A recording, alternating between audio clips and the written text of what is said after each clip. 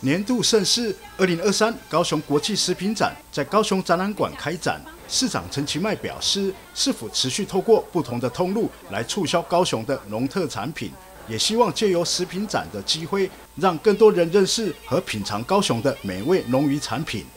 今天食品展就是来介绍高雄最好的啊农特产品哈。那总计我们在啊去年一整年，我们的产值大概高达六呃六百。呃，三十亿左右的啊农渔产品哈，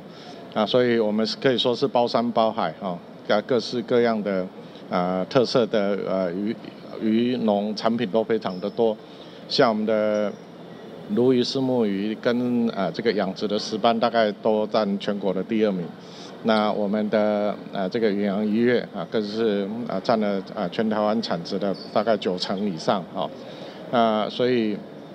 啊，我们也希望说啊，借由啊各式的食品展，像东京食品展，我们今年年初到东京食品展也卖了大概有三亿啊一年的这一些啊销售额哈，所以啊利用各种不同的这个食品展来促销高雄啊最好的农渔产品。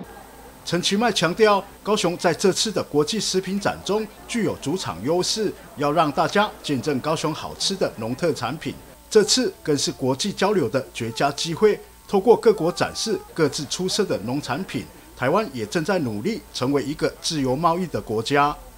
那另外，我们也啊在扩展一些啊异业的结合，哈，像跟我们的通路商，那还有我们的一个食品的啊这个连锁店，好像摩斯汉堡啊等等，在我们石斑鱼啊这个产量过剩的时候，也帮我们能够把最好的石斑鱼哈能够。啊，这个作为各式的这个不同的啊，这个素食产品，哦，那也都深获消费者的一个好评，所以我们也会在加强跟我们的大型的通路商，啊，跟我们的呃素食业连锁的食品业者来共同合作。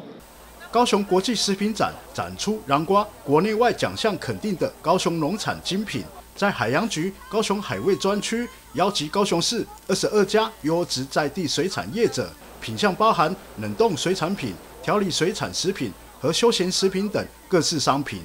记者李正道高雄报道。